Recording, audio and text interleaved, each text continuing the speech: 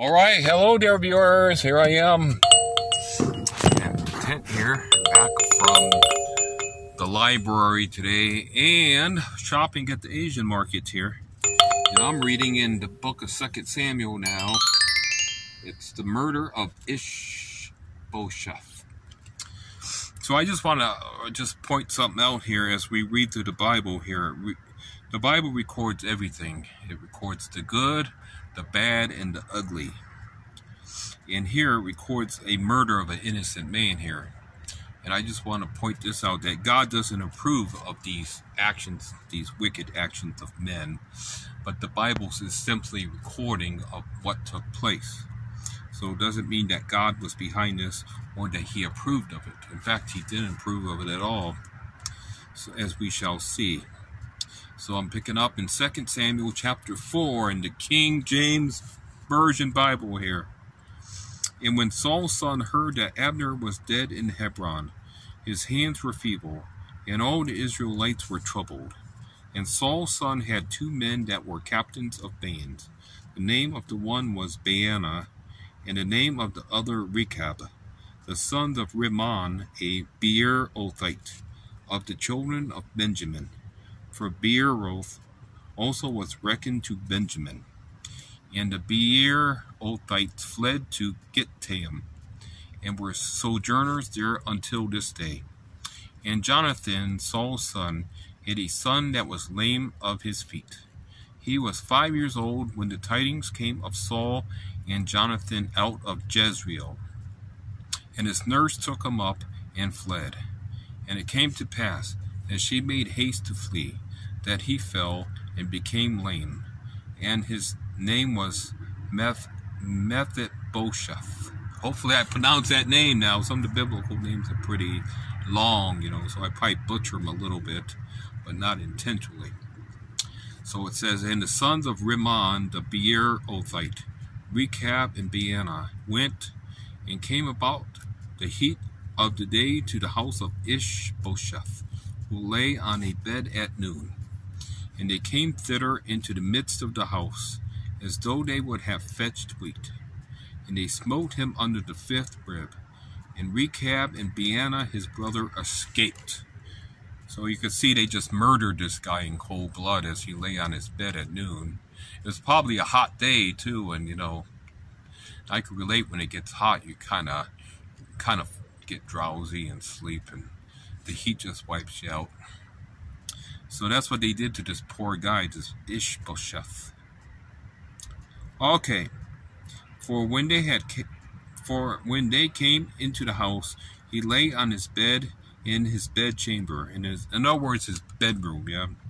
And they smote him, and slew him, and beheaded him, and took his head, and got them away through the plain all night. And they brought the head of Ishbosheth unto David to Hebron, which will prove to be a big mistake on their part, as we shall see. Okay. And said, said to the king, Behold, the head of Ishbosheth, the son of Saul thine enemy, which sought thy life. And the Lord hath avenged my lord the king this day of Saul and of his seed.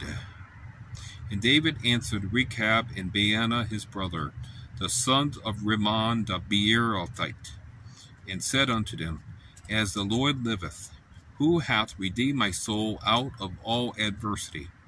When one told me, saying, Behold, Saul is dead, thinking to have brought good tidings, I took hold of him and slew him in Ziklag, who thought I would have given him a reward for his tidings. How much more, when wicked men have slain a righteous person in his own house upon his bed? Shall I not therefore now require his blood of your hand, and take you away from the earth? And God and David commanded his young men, and they slew them, and cut off their hands and their feet, and hanged them up over the pool in Hebron. But they took the head of Ishbosheth and buried it and buried it in the sepulchre of Abner in Hebron. David made king of Israel.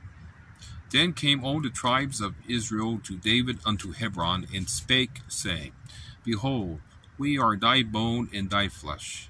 Also in time past, when Saul was king over us, thou wast he that leddest out and broughtest in Israel.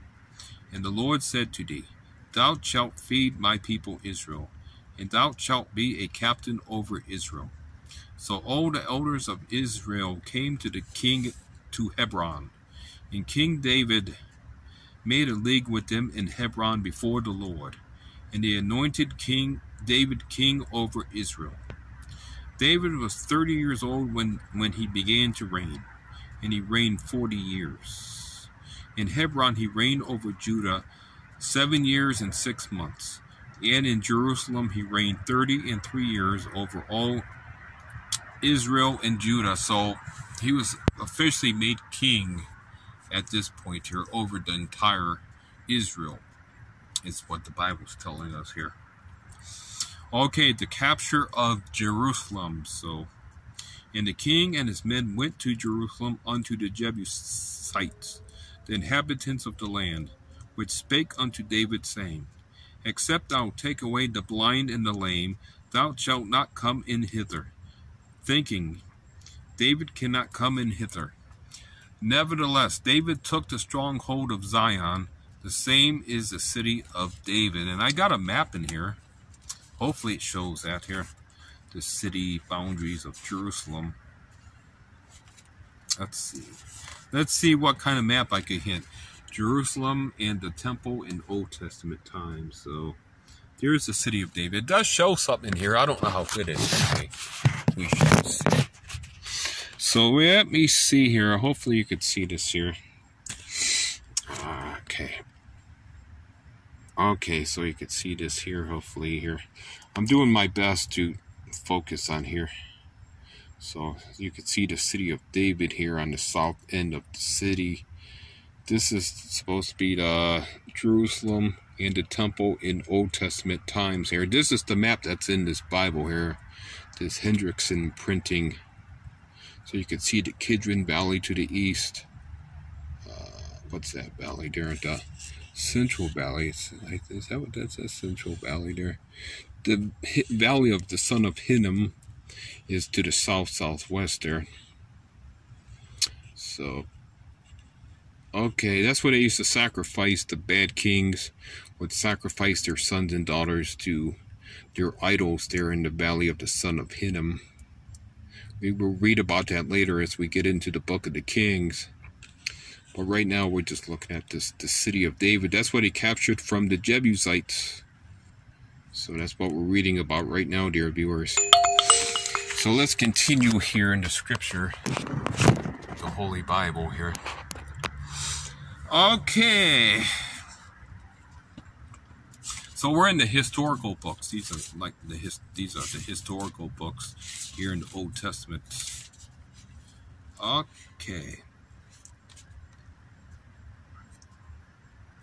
Okay. Okay. Verse 7 says, chapter 5 of 2 Samuel. Nevertheless, David took the stronghold of Zion. The same is the city of David. And David said on that day, Whosoever getteth up to the gutter, and smiteth the Jebusites, and the lame and the blind, that are hated of David's soul. Notice that, that are hated of David's soul. He shall be chief and captain. Wherefore they said, The blind and the lame shall not come into the house. So David dwelt in the fort, and called it the city of David. And David built round about it from Millo and inward. And David went on and grew great, and the Lord God of hosts was with him. And when it talks about the Lord God of hosts, it's talking about armies. Yeah, the word host means armies. So it's kind of like a military term, one of the titles of God. Then it says, And Hiram, king of Tyre, sent messengers to David in cedar trees, and carpenters, and masons. And it's not talking about Freemasons now, folks. So, And they built David an house. And David perceived that the Lord had established him king over Israel, and that he had exalted his kingdom for his people Israel's sake. So notice it's called Israel God's people. So people don't like Israel. Well, the truth is they have a problem with God did. And David took him more concubines and wives out of Jerusalem. Remember that God is not necess- he's not approve of approving of these kind of things like the multiple wives, the polygamous wives and so God is not approving of this now just because it records it here in the scripture. Because God's plan, original plan was one man, one woman for life. And Jesus confirmed that in Matthew chapter 19 when he was questioned by the Pharisees about that very matter. So it says, And David took him more concubines and wives out of Jerusalem. After he had come from Hebron, and there were yet sons and daughters born to David. And these be the names of those that were born unto him in Jerusalem Shammua and Shobab and Nathan and Solomon. Ibhar also and Elishua and Nepheg and Japhiah and Elishama and El Eli Eliada and Eliphalet.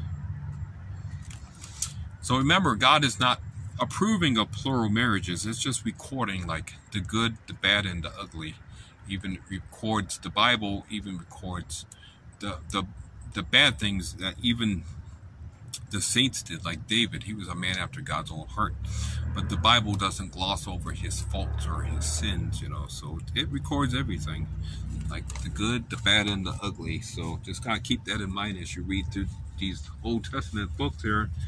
That doesn't mean that God is approving of plural marriage or polygamy, as we call it. Poly means many, of course. I think most people know that. Okay, says the Philistines defeated. But when the Philistines heard that they had anointed David king over Israel, all the Philistines came up to seek David. And David heard of it, and went down to the hold. The Philistines also came and spread themselves in the valley of Rephaim. And David inquired of the Lord, saying, Shall I go up to the Philistines? Wilt thou deliver them into mine hand? And the Lord said unto David, Go up for I will doubtless deliver the Philistines into thine hand. And David came to Baal Perazim, and David smote them there, and said, The Lord hath broken forth upon mine enemies before me, as the breach of waters. Therefore he called the name of that place Baal Perazim. Hopefully I'm pronouncing these names right. I don't know. Am I? That's kind of flying foul on me. Okay. Okay. And there and there they left their images, and David and his men burned them. Their idols, their little idols that they carried. Remember, they were pagans, heathen, so they worshipped false gods and and, and, and under the form of the idolatry. Okay. And the Philistines came up yet again, and spread themselves in the valley of Rephaim. And when David inquired of the Lord, he said, Thou shalt not go up, but fetch a compass, compass behind them, and come upon them over against the mulberry trees. And let it be, when thou hearest the sound of a going in the tops of the mulberry trees, that then thou shalt bestir thyself. For then shall the Lord go out before thee to smite the host of the Philistines. And David did so, as the Lord had commanded him, and smote the Philistines from Geba until thou come to Gazer, bringing the ark to Jerusalem. Again, David gathered together all the chosen men of Israel, thirty thousand. And David arose and went with all the people that were with him from Baale of Judah, to bring up from thence the ark of God, whose name is called by the name of the Lord of hosts, that dwelleth between the cherubims. And they set the ark of God upon a new cart, and brought it out of the house of Abinadab, that was in Gibeah. and Uzzah and Ahio, the sons of uh, Abin, Abinadab, drave the new cart. And he brought it out of the house of Abinadab, which was at Gibeah, accompanying the ark of God. And Ohio, so it looks almost like my home state, Ohio. Ohio, which is spelled with an A. Ohio went before the ark. And David and all the house of Israel played before the Lord on all manner of instruments made of fir wood, even on harps and on psalteries and on timbrels and on cornets and on cymbals. And when they came to Nachon's threshing floor, Uzzah put forth his hand to the ark of God and took hold of it, for the oxen shook it. And the anger of the Lord was kindled against Uzzah, and God smote him there for his error. And there he died by the ark of God. And David was displeased, because the Lord had made a breach upon Uzzah. And he called the name of the place Perez Uzzah to this day. And David was afraid of the Lord that day and said, How shall the ark of the Lord come to me? So God would not remove the ark. Wait, let me read this again. So David would not remove the ark of the Lord unto him into the city of David. But David carried it aside into the house of Obed Edom the Gittite. And the ark of the Lord continued in the house of Obed Edom the Gittite three months. And the Lord blessed Obed Edom and all his household. And it was told King David, saying, The Lord hath blessed the house of Obed Edom, and all that pertaineth unto him, because of the ark of God. So David went and brought up the ark of God from the house of Obed Edom into the city of David with gladness. And it was so that when they had bared the ark of God, okay, and it was so that when they that bared the ark of the Lord had gone six paces, he sacrificed oxen and fatlings. And David danced before the Lord with all his might. And David was girded with an linen ephod. So David and all the house of Israel brought up the ark of the Lord with shouting and with the sound of the trumpet. And as the ark of the Lord came into the city of David, Michal, Saul's daughter, looked through a window, and they saw and saw King David leaping and dancing before the Lord, and she despised him in her heart. And they brought in the ark of the Lord and set it in his place, in the midst of the tabernacle that David had pitched for it. And David offered burnt offerings and peace offerings before the Lord. And as soon as David had made an end of offering burnt offerings and peace offerings, he blessed the people in the name of the Lord of hosts. Remember that title, Lord of Hosts, is talk about the Lord of the armies. Host means armies, you know. It's a military term for God, actually. And the Lord is spelled in all caps too, all capital. So that's talking about Jehovah there, talk about the one true God of Israel. Dealt among all the people, even among the whole multitude of Israel, as well to the women as men, to every one a cake of bread, and a good piece of flesh, and a flagon of wine. So all the people departed every one to his house. Then David returned to bless his household. And Michal, the daughter of Saul, came out to meet David and said, Ah, here we go. Here's some criticism here. How glorious was the king of Israel today, who uncovered himself today in the eyes of the handmaids of his servants, as one of the vain fellows shamelessly uncovereth himself. And David said unto Michal, It was before the Lord, which chose me before thy father, and before all his house, to appoint me ruler over the people of the Lord, over Israel. Therefore will I play before the Lord. And yet, and I will yet be more vile than thus, and will be base in mine own sight. And of the servants which thou hast spoken of, of them shall I be had in honor. Therefore, Michal, the daughter of Saul, had no child unto the day of her death. So we're going to leave off here at Nathan's prophecy here. And I will. Okay, viewers. It's a hot night tonight.